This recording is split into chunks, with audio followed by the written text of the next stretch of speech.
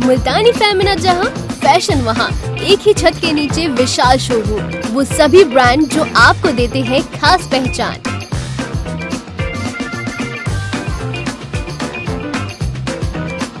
आबुलेन मेरठ। मेरठ में बदमाशों के हौसले बुलंद हो चले हैं। बीते दिवस मलियाना फ्लाईओवर पर चार लाख रुपए की लूट की घटना अभी खुली भी नहीं है कि इस बीच शास्त्री नगर में ग्रवित फाइनेंस में बदमाशों ने घुसकर लूटपाट की घटना को अंजाम दे दिया।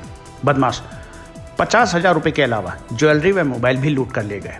इससे पहले बदमाशों ने फाइनेंस कंपनी के मालिक संजीव गोयल व महिला कर्मचारी को बाँध दिया था।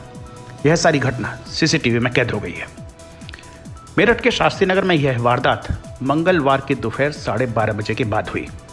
मेडिकल थाना अंतर्गत एल ब्लॉक शास्त्री नगर में मकान संख्या चार में संजीव गोयल फाइनेंस कंपनी का काम करते हैं। आज दोपहर। वह ऑफ़िस में बैठे हुए थे, तभी चार बदमाश ऑफ़िस में घुस आए, जबकि पाँचों बदमाश भारी खड़ा रखवाली करता रहा। मोबाइल फाइनेंस कराने का झांसा देकर बदमाशों ने संजीव गोयल को पिस्टल लगाकर पचास हज़ार की नकदी, ज्वेलरी और तीन मोबाइल लूट लिए। जाते हुए वह संजीव गोयल व उनकी महिला कर्मचारी को रस्सी से बाँध भी गए। सूचना पाकर थाना प्रभारी देवेश कुमार के साथ ही तमाम व्यापारी नेता अरुण वशिष्ठ, दलजीत सिंह, नीरज त्यागी व सुधांशु जी महाराज भी पहुँच गए। संयुक्त व्यापार संघ के इन पदाधिकारियों ने व्यापारियों से आए दिन होने वाली घटना पर नाराज़गी जताते हुए इसके जल्द खुलासे की मांग की। फाइनेंस कंपनी के मालिक संजीव गोयल ने यह जानकारी दी। ना, कुछ नहीं हमें बाँध रहे ना? भेजे ऐसे करके बाँध के पैर बाँध के बाँध के ऐसे ही बाँध के हम चल ही नहीं सकते। हाँ दोनों हाँ नाले लेके आए थे। यही दिखा दे आपको। किसी ना किसी ने यही दिखवा देंगे पहले आप यही उसी को जल्दी कर लो ब्रेक किया ब्रेक किया अंदर का तो दे दिया ना। ये बारह चालीस इसमें यहाँ का भी कवर हो रहा है सारा।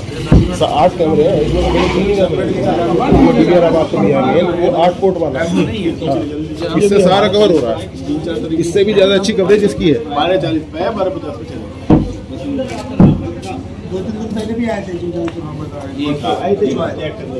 उनमें एक आदमी लग रहा है कि उनमें से ही था। ऐसा ही है ना? दो पाइप पे थे दो इसकी इस खबर में फ़िलहाल इतना ही। खबरों से अपडेट रहने के लिए देखते रहिए फ़र्स्ट बाई डॉट टीवी और हाँ अपने इस चैनल को सब्सक्राइब करना व बेल आइकन दबाना न भूलें। नमस्कार।